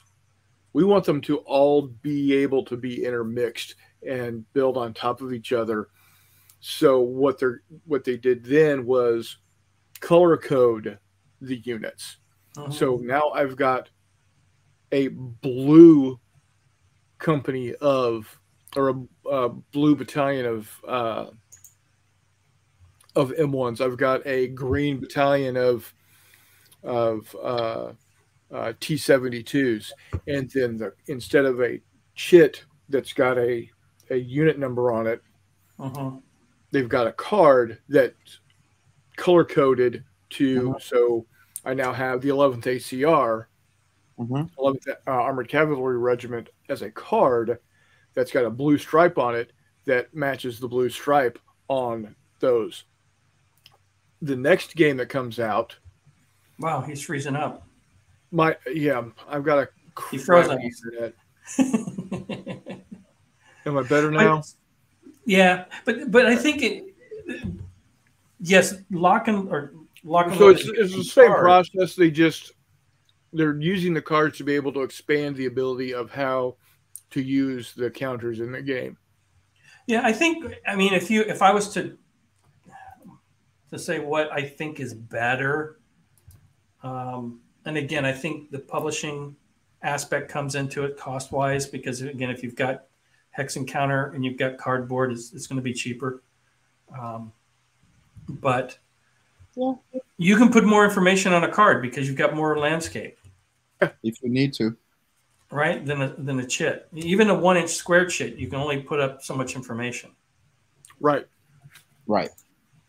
But and, and again, I, I think it's um, the, the idea of chit pull is kind of cool, and it's just random card draw. Um, and I don't have a preference for either one. Um, it is a different feel, Yeah. And again, it might be a preference thing. You just like to pull chits as opposed to cards. So, Yep. And we said it before. Have fun with that. You know, do what I you're like going to do. What else? I had any other notes here? Oh, things like Overwatch, right? We were talking about interrupting. Um, so I'm going to say, I think when it comes to a turn sequence, probably the easiest, flattest, flat meaning there's not a lot of levels, layers to it. Um, not that it's not enjoyable It's probably something like what you did, Chris, with um, running silent.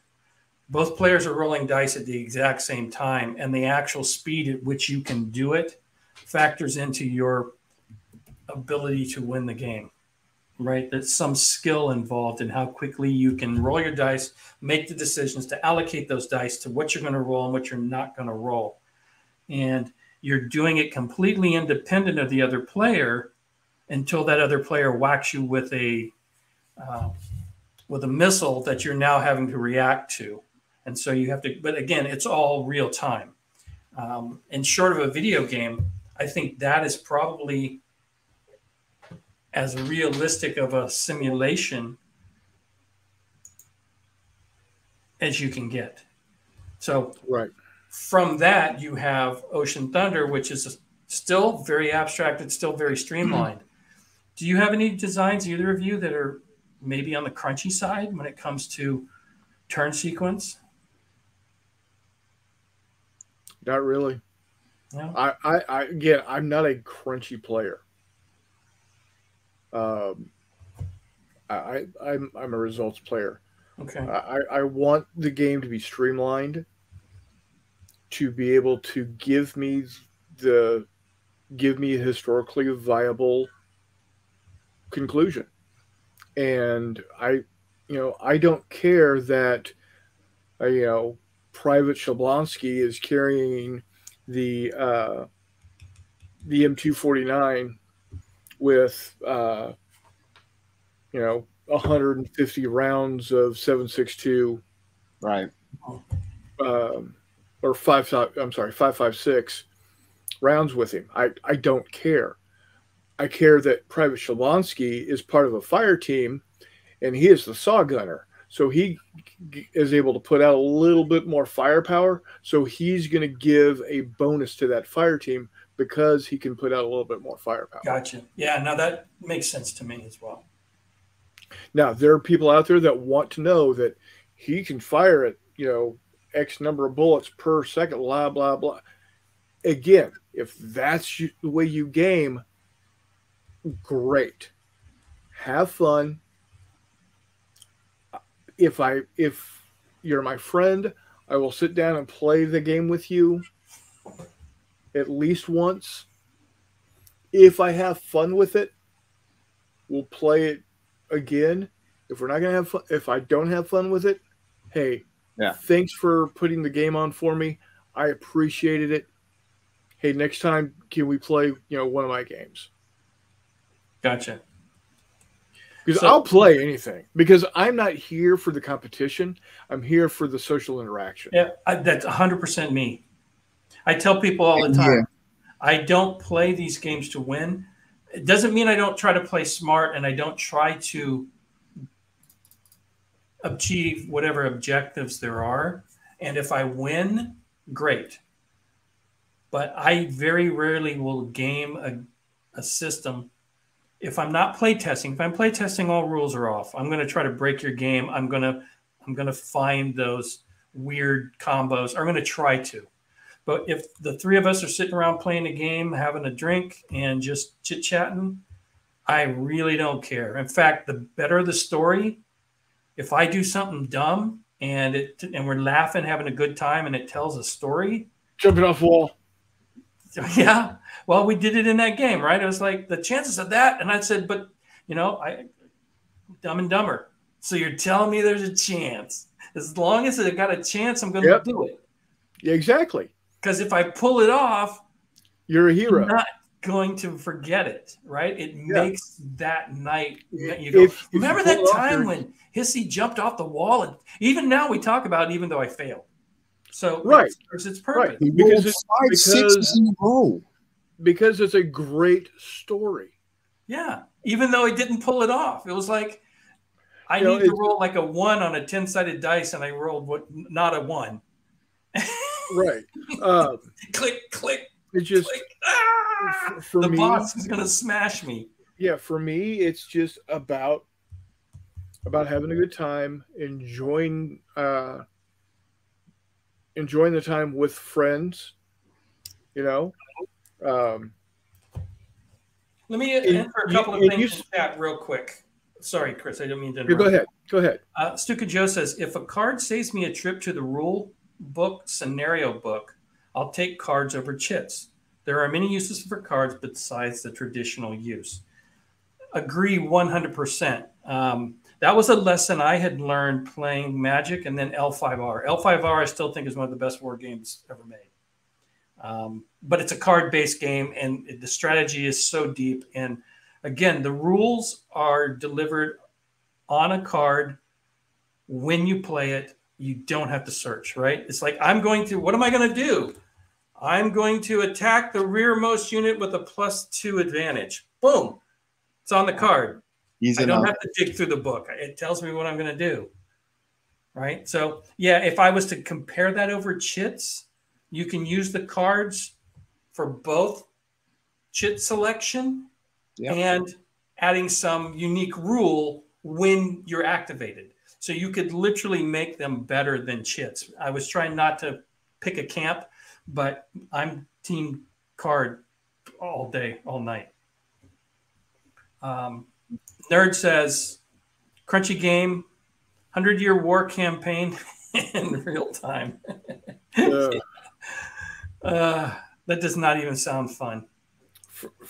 Here we go. Another Chris, correct? Yeah, Chris Long. Chris Long, A. Hey, yep. Uh, Chris, um, if you're if you're still listening, I would love to get a hold of your rules. Yes, that we talked about the other night. I I I, I think I have found my 15 millimeter uh, American uh, infantry, modern American infantry, and my uh, my 15 millimeter Hajis, and uh, I'm I'm ready to I'm ready to go with them. Yeah, in fact, if you want walkabout, I think you're in our Discord. Um, we'd love to get a set of those rules. Maybe put some stuff on TTS, Tabletop Simulator, and uh, do a uh, the play testers is another podcast that I decided to do because I because I have time, I guess. Why not? Um, where we play test games and love to get your game and play test it with some people if you're up for that. Just um, drop into Discord. Like I said, if not, I'll put it in the show link, the show description, a link to our Discord, and you can let us know there. So Mike has a question on Card Jam. Is there a limit to the rules length? No, there is not. Write is write a Bible if you need to. Well, okay, on, on the current. Uh, oh yeah, on the card, on the card jam. not the postcard.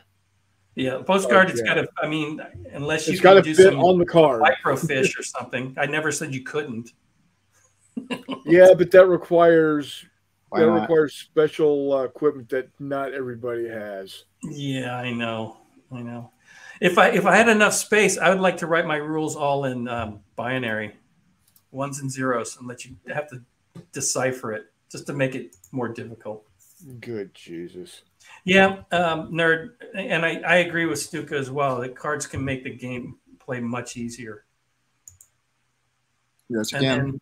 Walkabout says overbalance into many complicated rules put put me off a bit. Yep, me too.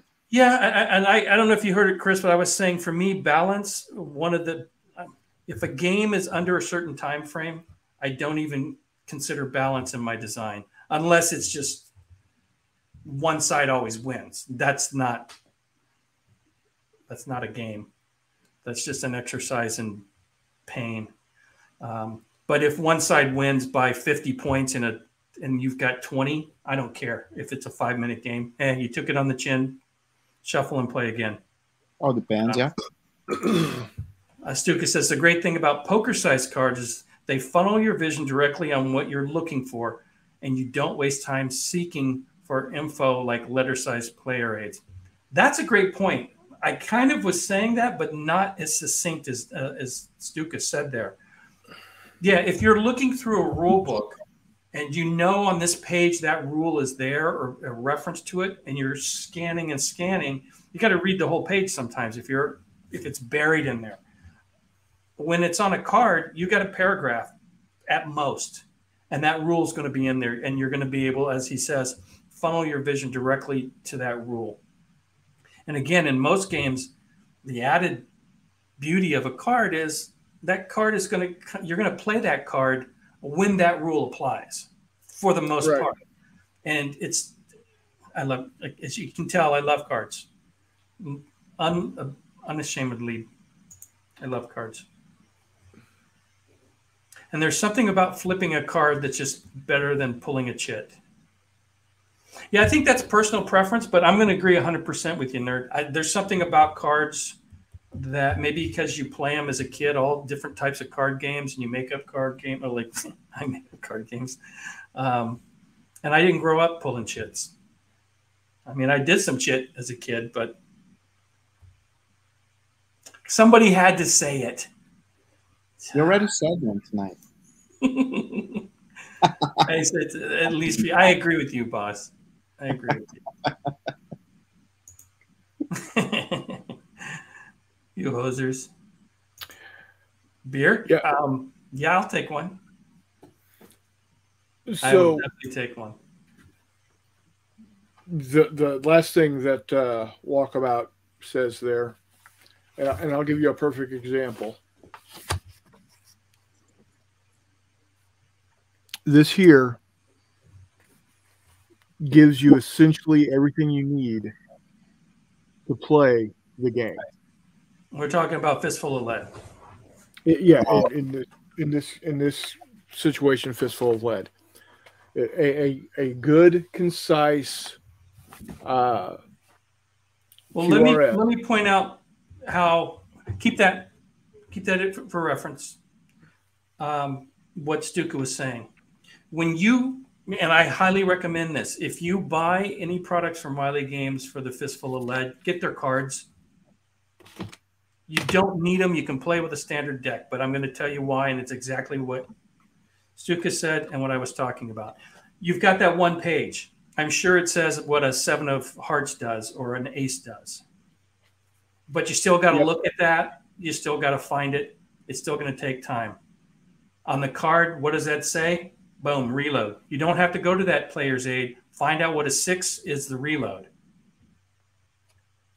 So exactly what we've been talking about. Cards are, and again, the, the show's supposed to be about turn sequence, and we're closing in on two hours. So we're going to go a little over because I still want to talk about um, my mechanics. And besides, they they the, the cards are really great looking. Oh, they are, and they, they really since they are themed, like this is the Battlesuit Alpha set for you know big stompy robots. Yep. It it keeps you in that. Well, it's like painting miniatures, right? It yeah. gives you the feel of uh, that you're you're doing something with that theme. So before we close the shop on this topic, because I still want to go over a mechanic that I like that I, and we'll spend a 20, 30 minutes on that uh, or whatever. Is there anything else you guys wanted to add when it comes to turn sequence? I think we kind of scratched the surface. I think there's a little more we can get into. So obviously, in another another segment we can do another show, we can get dive into more specifics on various games and the, and how different turn structures are set up. Um, but at least for this week or this episode, any final thoughts? Just um, you know, whatever you do decide, however you do decide to uh, make your game's sequence work, make sure that you're not leaving somebody bored. You know, yeah. you're you're not you're not you're not if you do decide to go I go you go allow for some kind of interruption just to keep the other player engaged. Yeah, I think there's some areas with the I go you go um, where I would I would almost like to see a game, and when I say that, that means something that I might want to have to design now, where when it's my turn to move, it's your turn to shoot. So as I'm moving, you're shooting. As you're moving, I'm shooting. So we're both doing something, just different action sequence at the same time. Does that make sense? So the only time I can shoot yeah. is during your movement phase. Mm.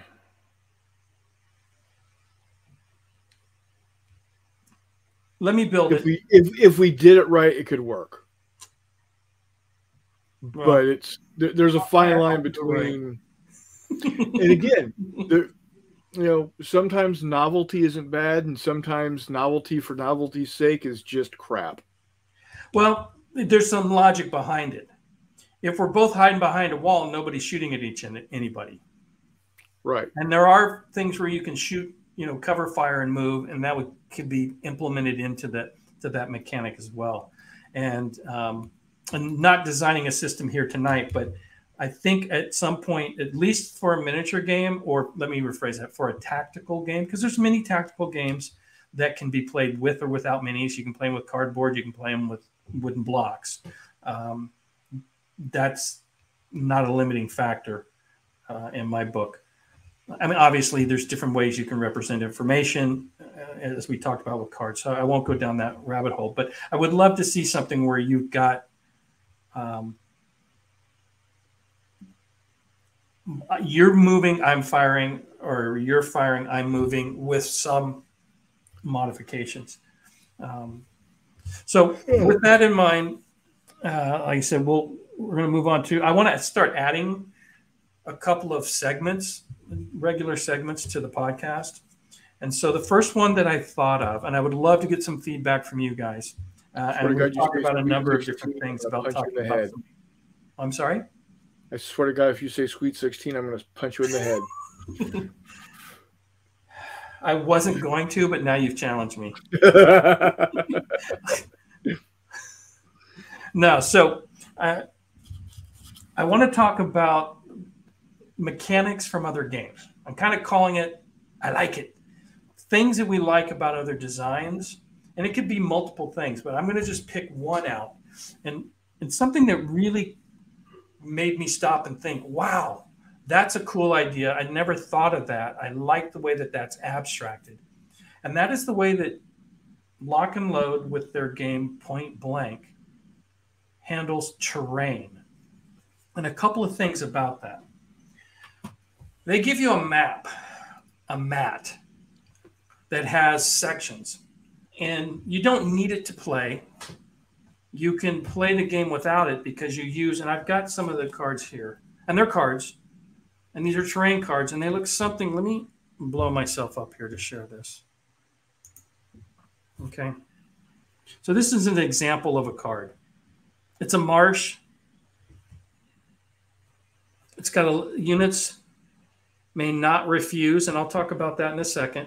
It's got an eye that's half opened or half closed. I don't know which camp you're from and it's got a modifier that deals with, I believe, your defense.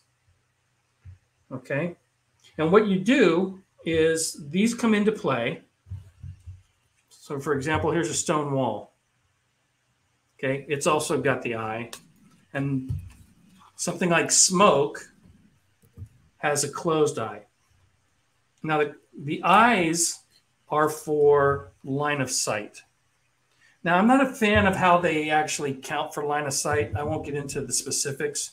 Um, I think it's a little contrived, but the idea that the terrain half this is partially obscured and that has a, an effect on your dice roll to completely obscured meaning you can't shoot through it and if you've got two terrain like that, that adds up to a closed eye. Okay. Pretty simple stuff. Two closed eyes, uh, two half closed eyes equal a closed eye. You can't shoot through it. That's not what I found really cool about this system when it comes to terrain. And again, what that what it does is you have the ability with some of your characters to do recon Recon allows you, and I'm going to oversimplify the rules, I'm not to get bogged down into it too much. You can draw a terrain card into your hand. And that terrain card can be played at various points during the game, either for or for you, as it's you're going to be moving into a section of the, the map, and you put down a terrain card and that represents the terrain that you're in. You either draw them randomly or you play them from your hand. I can also play a terrain card because the way movement works in point blank is you you decide on say turn one you're going to move a unit you put a marker on them that points your direction that you're going to move you don't actually move until the beginning of your next turn so your opponent has an opportunity to do things before you actually move. One of them being place a terrain card in this location that you're going. So you may have in your hand an advantageous terrain card for you, and I may have one that gives me an advantage and you a disadvantage, and I can play that terrain card knowing that you're going to be moving in what direction you're moving. And I can put a terrain card prior to you moving into it. Now you can back out of it, and there's some rules for that, but I'm not going to get into those rules so much as just the concept of you have an area on the game board that you can either randomly or selectively place terrain, and it can change.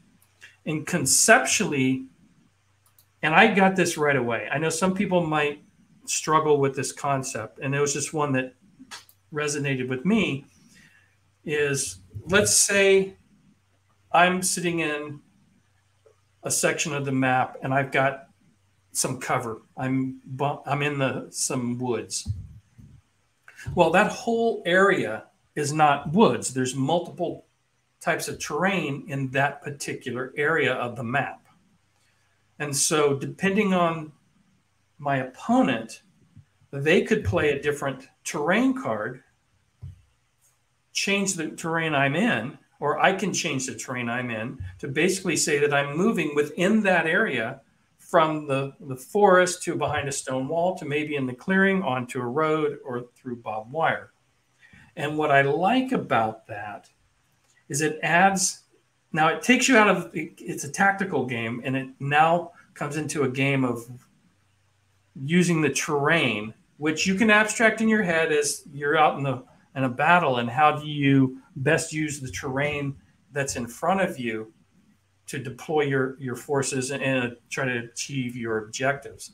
And so I really like how they've taken these terrain cards, dealt with the line of sight, and a little bit of fog of war when it comes to the terrain. And you think you get into cover behind a building, but abstractly, I play a card that now has you in the open. You may not have moved. You may still be hiding behind that wall, but I've now moved to where I'm flanking you, even though it's not called flanking. And again, you have to kind of just accept a little bit of the concept of finding these clear shots, even in a when they were behind trees or behind a tank or behind a wall, and that terrain changes on you. Excuse me. Have you guys, either of you? I know, Chris. I think you have Point Blank, don't you? I have it. I have not yet played it. Okay. Um, what do you know about it, Eric? Anything? He just says he knows about it. Now, I didn't. Um, you're muted, by the way, boss. I didn't give these guys a heads up as to what game and what mechanic I was going to talk about tonight. So uh, next week we'll be a little more informed. Uh, at least I'll share my thoughts uh, or whatever thoughts they might have um, for what we can talk about. But for me, it was one of these things that was like, oh my God, that's such a cool idea that the terrain becomes dynamic. Mm-hmm. And I can change it. And maybe where I think I was in a good spot, I'm no longer in a good spot. Um, yeah, it sounded interesting. I don't, I, I got to delve into it a little bit. I haven't, I know about it, but I haven't, uh, maybe I'll see if Stuka Joe has a video on it. Oh yeah, he's well. If Stuka Joe's covered it, it's going to be a good video. He does well. Yeah, he does amazing stuff. I mean, I think you all of us know that. Um, I'll get caught up with some of these uh, comments. Right. I'm sorry, guys. Reactions during movements, okay. Do they come in dual lands? Okay, that's funny based on our conversation about Magic the Gathering. Um, yes and no. Um, and the reason I say that is there are some cards that are permanent. And uh, I guess that's not dual, but I will say that I had um, I had done a video where I took their map and I cut the map into pieces and then mounted them on cardboard and I made basically um, tiles, map, m- mat tiles because it's not really a map per se. Mm-hmm. And they did talk about um, their lock and load is going to print those so that you can get tiles. I, I don't think it was me who, who made that happen. Yeah. I think they had thought about it and weren't sure. And you know, I do a video and there's a little more talk about it. And I think they, that may have influenced them to some degree to say, hey, you know what? That is a good idea. Why don't we why don't we go ahead and do this? Um, I don't I'm not going to take any credit for it. But I had was playing on Tabletop Simulator and I was talking to them because I had actually made some of my own tiles that represent beach. And the designer of the game, oh my god. Let me get his name real quick. Sorry. I don't have it referenced in front of me. Sean.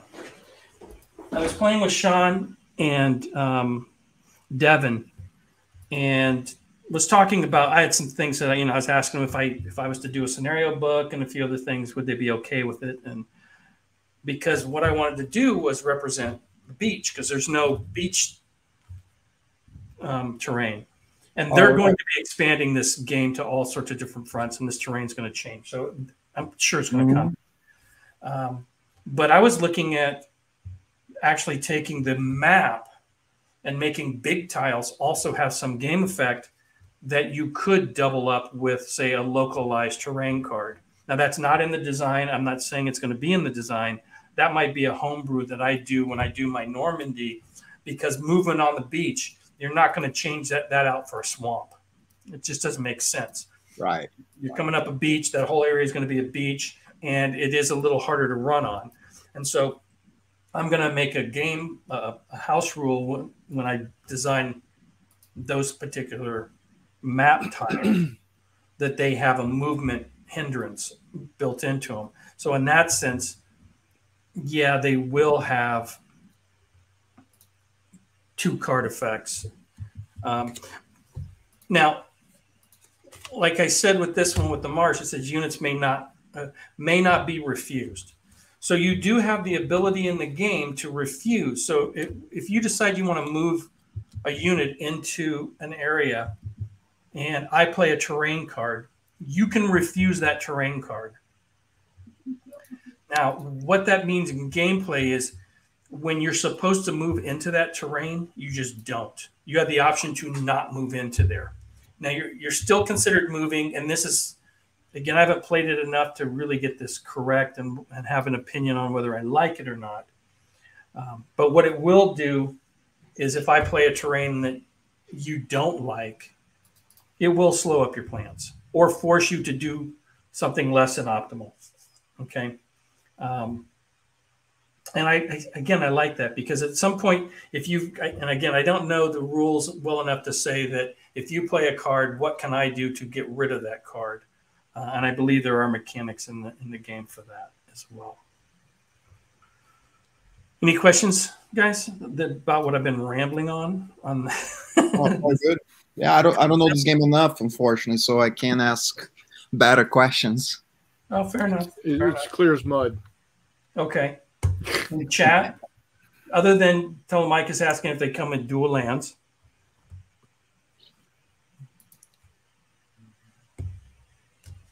I'm just I'm just looking. I don't think they do, but I'm just taking a quick look.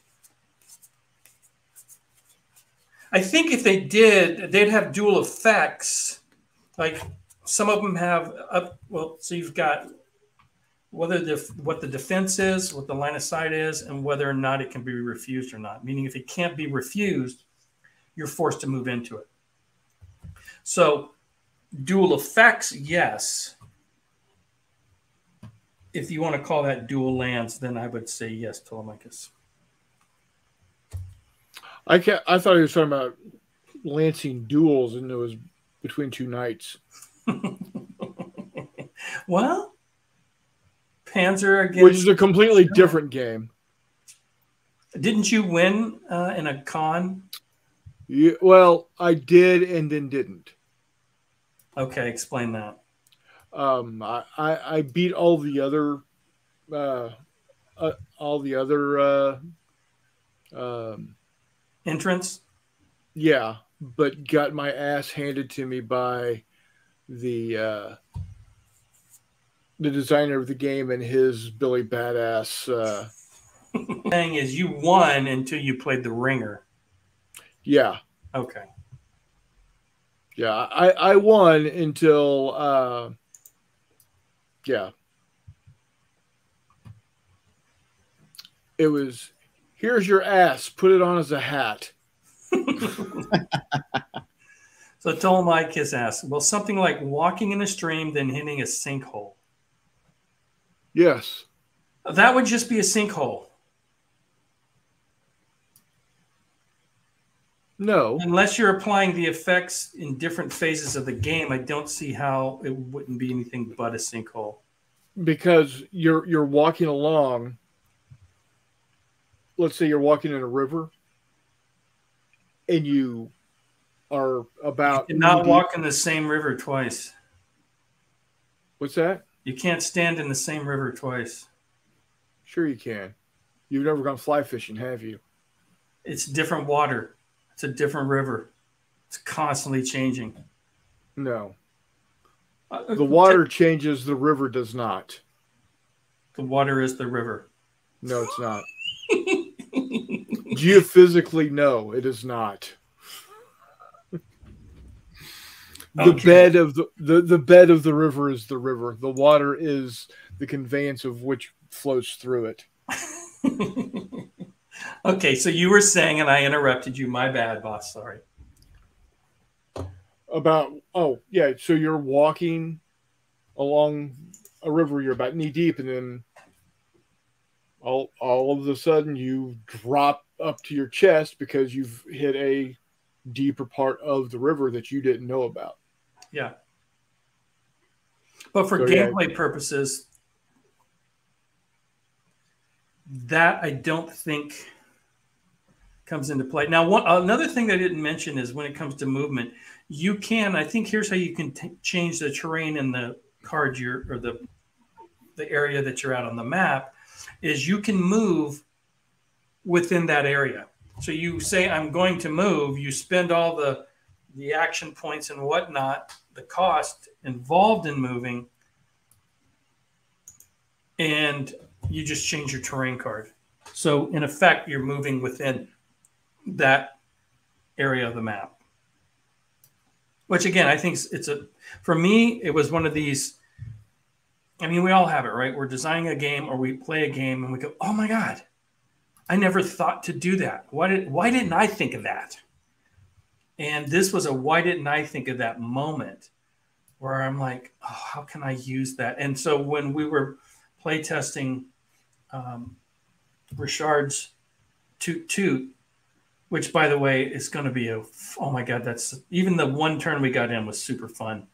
Um, but that was where I was taking the concept of the terrain that you see here in um, Point Blank and trying to explain it to him as something to uh, consider putting into Toot Toot.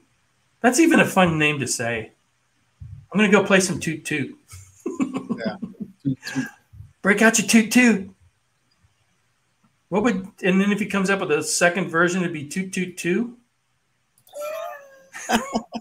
Oh, one and a half. No, it's got to be two. It's got to be Toot Toot 2. Yeah, so we- gotta convince him to do that. Or two two reloaded. Reloaded. There we go. Alrighty, guys. So we're I, like I said, I've been trying to beep beep. Okay. okay. So see, mice on my team. No man ever steps in the same river twice. Here we go. For it's not the same river, and he is not the same man. Boom. Booyah. Yeah. Mike Twain. hey, Team Mike is down with the towel. Right, baby. Alrighty, guys. I want to thank Chris and um, Eric for being on the show as always. I think tonight was a pretty engaging conversation. Um, ending with the uh, no man ever steps in the same river twice. That's a good way to be out. Um, Saturday morning, 10 o'clock, we're going to be play testing Richthofen. Get on Discord, get a link, join. You guys can play. Um, Right now, it's going to be me and Eric, but if somebody else shows up, I will watch. And um, that's Saturday, 10 o'clock Pacific time. And until next week on this show, uh, and I'll tell you when we got an up, uh, I'll get an update. Hopefully, if we don't have a, a guest next week, I, I've got a couple iffies. I don't want to say anything until I tie it down. Uh, but if not, I'll see you guys next week.